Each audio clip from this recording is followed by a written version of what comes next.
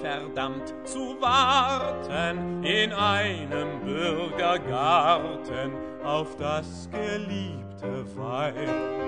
Nun sitz ich hier als Beute gewissenloser Leute mit breitem Unterleib.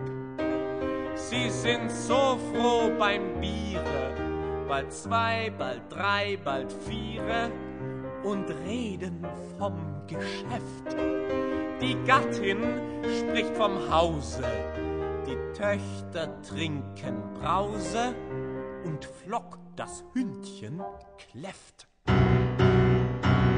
Die Kellnerinnen schwirren, die Tischgeschirre klirren, der Himmel scheint so blau, wie süß ist's doch zu warten in einem Bürgergarten auf die geliebte Frau.